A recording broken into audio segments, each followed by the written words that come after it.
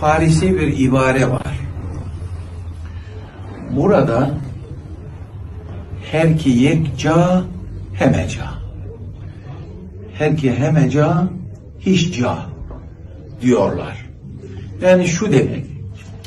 Bir kimse bir yerde ise ayağını sabit bir yere basmışsa her yerde demektir.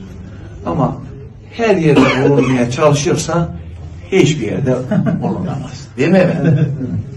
Onun için elhamdülillah el sünnet itikadındayız. Hanefi mezhebindeyiz. Maturi akaidindeyiz. Böyle buraya sabit ayağımızı basmış vaziyetteyiz.